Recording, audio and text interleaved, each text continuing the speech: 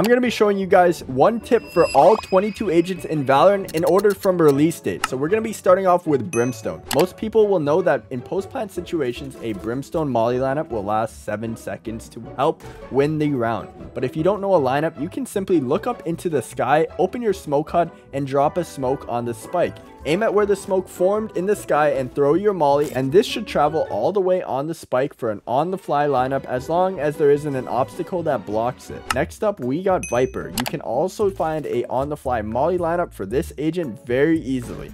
All you have to do is ping where you want the molly to land, aim at the ping and then look straight up as far as you can and hold W and then when the edge of your sound circle on your minimap touches the ping, fire the molly and this should always land on the ping as long as an obstacle doesn't block it. And if you're one of the many people that need help ranking up, you need to check out Gosu Academy. Gosu can help you take your gameplay to the next level since one of the main struggles when ranking up is not knowing what area that you need to improve on. Gosu Academy is the place to find the highest quality coaching, and every single month, Gosu brings in coaches from franchise pro teams to give exclusive lectures so you can literally be taught from the best of the best. They also have an insane amount of resources like VOD review classes taught by real pro Valorant coaches. And you can even play in weekly rank-based 10-mans ran by those same pro coaches. So if you want to learn from the best or you want to meet some friends in your rank to grind and climb the ladders with, you need to check out the link in the pinned comment or description and it's absolutely free for the first 30 days on sign up. So thank you so much to Gosu Academy for sponsoring today's video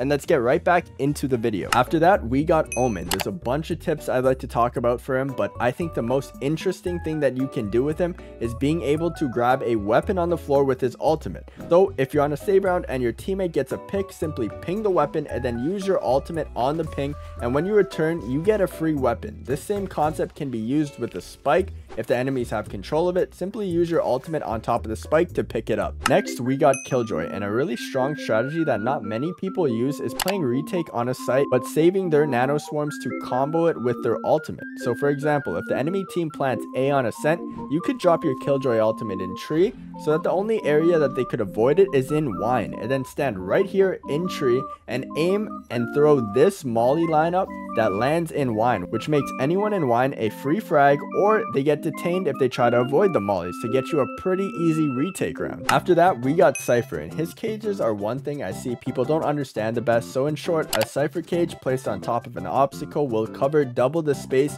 a regular cage would. So with this concept in mind, you can throw some fairly easy one-way cages to get some free frags on an enemy that can't see you. Usually I would combo this with a low tripwire as well to make them highlighted as they are walking through your one way. After that we got Sova and one thing I noticed many lower ranked players don't do correctly is using their shock darts to break enemy utility. A single shock dart could ruin an entire killjoy or cypher setup which makes your duelist job much easier. So when you're going to take a site, use your drone to find the setup and then once you find it, simply throw a shock dart at it and boom, no killjoy mollies to stop you and your team from pushing into site. After that, we got Sage, and the number one tip everyone always knows is Grim Walls to get an off angle to get you easy frags. But there's another type of wall I like to do with Sage, and it's a one-way wall. If you place a wall on top of something, you can often look underneath it to get an angle on the enemy's toes to get you some free frags. Next up, we got Phoenix, who's a pretty straightforward character, but the main thing I don't see people using is the flash molly combo. My friend Andrew often does this where you simply throw your molly at the start of the round with a lineup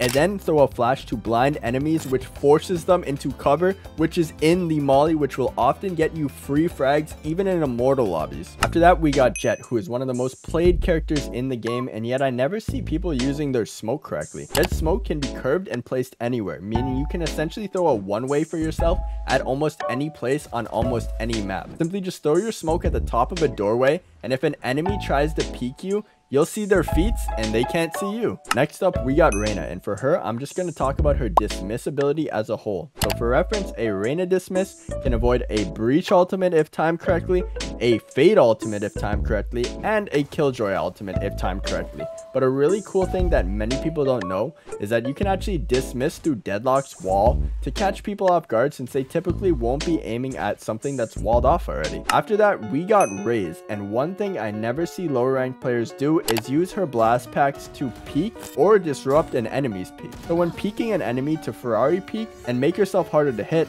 Throw your blast pack and use it to peek with it like this to go super wide and super fast. If an enemy is about to peek you, you can throw a blast pack at them to make them bounce and peek them while they're still inaccurate. And we got Breach, and honestly this tip is just cool because it's creative, but you can actually get on top of angles with your Breach ult in a self-boost fashion.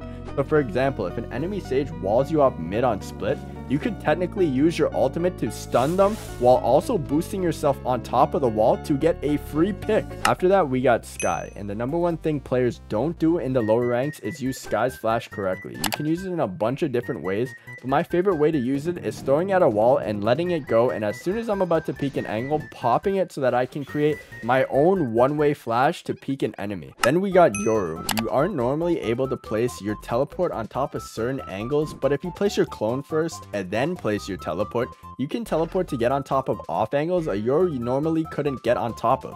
This allows you to catch enemies off guard and possibly get some easy frags. After that, we got Astra, and a really cool tip that I often don't see people doing is pulling back an Astra Star to deny enemy information and possibly get you a good timing window. For example, on split, you could Astra Star A main on attack and pull it back as you walk across the ramp without being seen. This will allow you to possibly make your way up ramp without them knowing and get a good lurk off. For KAY/O, I often see people not using their flashes correctly. You can almost always create a one-way flash for yourself by flashing at a 90 degree angle behind you and peeking with it, but you can also do this if you're on an elevation.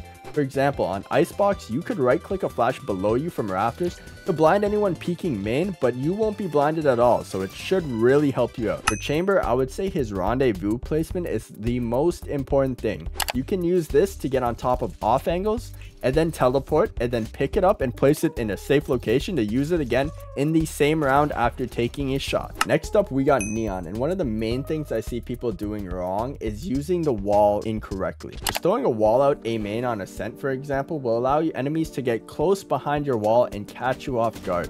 Instead, you can throw it over an obstacle if you aim above it to smoke off tree, for example, for your team as you are entering site, which is especially nice when teammates think you're trolling and pick 5 duelists. For Fade, it can be really strong on a retake. You can use your Haunt to get spam kills when smoked off. For example, on Ascent, if you're smoked off in tree, you could throw a eye above you basically anywhere and just spam through the smoke on enemies trying to run in. For Harbor, you can actually control how fast you're using the high tide by simply looking up while while throwing the wall. This allows you to throw cleaner walls with less gaps, and if you want to stop the wall at any point, just right click on your mouse to stop the wall. For Gekko, a very simple but effective tip is that when using the Thrash ability, if you constantly overshoot it and it's popping behind them, you can actually detonate it midair by left clicking twice. So never miss a Gekko ult again. For Deadlock, if you ever find yourself in a 1v1 situation with your ultimate, you can throw a grab net lineup onto Spike and then simply shoot your ultimate at them, which they aren't able to avoid because they're stuck in a grab net for easy round wins. And finally, for Iso, if you have any agent on your team with a damage ability, it is really strong to combo the undercut with the damage ability. For example, if you have a Sova on your team,